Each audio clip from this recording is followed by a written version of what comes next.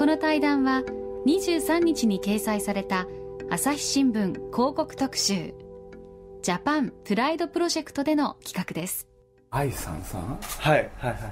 あれよかったですよね。ありがとうございますそうですね。ちょっとひばりさんの曲だったんで恐れ多かったんですけど。いやでもひばりさんよりいいですよね、いやいやいやいやそんなの絶対ないです。よそれは。いやというのは、はい。あの美空ひばりってすごいね、はい。まあ、僕も嫌いじゃなくて、はい。い、ろいろ聞いてきたけれど、はいはい愛さんさんだけはね、なかなかうまくいってないなと思ってたんですよ。あそうですか。そうしたら、はい。すごく自然に、まるでね持ち歌みたいに歌ってらっしゃったんで。ちょっと過酷な挑戦でしたけどもあれだけど順番にこうやって聞いてって、で途中でなんて言ったってあのね童謡が。そうですねはい。あれも驚いたですね、あありがとうございます。でなんかね童謡聞きたくないあ確かに最初のやつに2曲入ってたのかな。そうですね。はい2曲。潔おいしい金コン山サートですかね。そうですね。童謡好きなんですか？そうですね。あの友人の出産祝いで初めてこうなんか赤ちゃんにプレゼントしたくて歌ってみたらなんかああこういう歌っていうのもこう歌っていくなんか意味っていうのはあるのかなってちょっとその時に初めて。5年前ぐらいなんですけどちょっとあそうなんですか？はい実感して。なんか童謡歌手でやったらすごい良さそうですよね。ありがとうございます。で日本の歌でしょ？そうですねはい。ねえ。そうですね。だからまあ僕全然そこら辺も勉強不足でね、世界出てく時ああいう歌なんですよね。うん。そうですね。なんか世界中の人には聞いてもらえたらいいなというちょっと思いはありますけどはい。やあの日本の曲？愛さんさんなんて外国の人が聞いたらどう思うんだろうってつい考えちゃったんですよね。というのは、例えばジブリがね、はい。あの世界の人に評価される時ってね、、はい。つもね、はい。その日本的なものなんですようん。ねやっぱり。それを求められるっていうのか。うんだからまあね例えばそれが一番典型なのが「千と千尋。はははは」でその後ハウル」っていうのを作ったでしょ、はそしたらフランス行こうがアメリカ行こうがね、いはい。みんなに怒られちゃったんですよ。はなんでね、はい。あれイギリスの原作なんですよ。あなるほどなるほど。なんで日本のものやらないんだっつって。いやこなれ本え当、うんまあ、とにかくあの日本の曲があのある種の違和感ですよね、えはいそううん、だからまあそんなことあまり茶化すつもりがなくて、はい。サングラスで今のね 童謡歌ったらはすごくいいですよね。ありがとうございます。なんかそういう気がしたんですけどね。声量も、はい。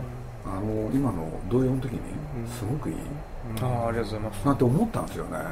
嬉しいです。愛さんさんもそう思ったしねそうですね。またライブとは違うレコーディングの時はレコーディングでこう小さいきめ細かくてもこう拾ってくれるので、レコーディングの時はそうなんですけどまたライブだとあれじゃ届かなかったりとかっていう時もあるんですけど、そうそうかもしれないはいですね,、ね武道館であの童謡だったらどうなるんだろう、はあの時は確かなかったですよね。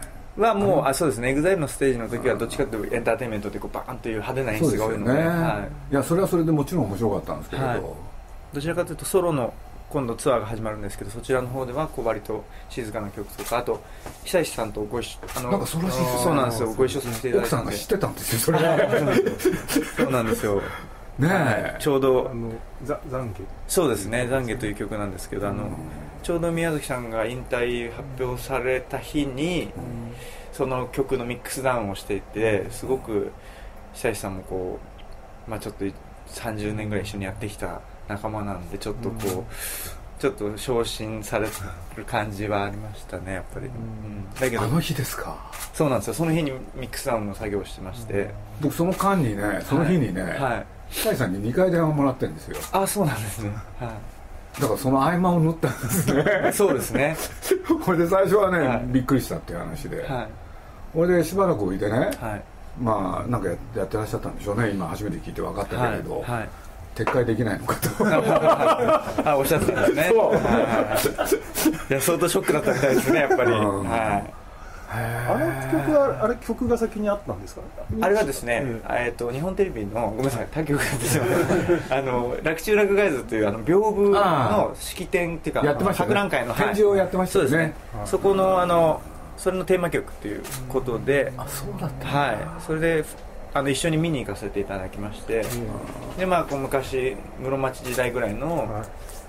ものなんですけどやっぱりそこそこには発注主がいて、まあ、徳川家と豊臣家のこの勢力図みたいなものがこうなんですか上手と下手みたいな感じでこうやっぱり深い意味がこうその中に入っててで民族性っていうかそのそその当時の生活とかも書いてあったりとか、なんかそういうことを見て久石さんがインスピレーションされたメロディーとかをこう僕にくださって僕もまあメモしといたんですけど、か歌詞は。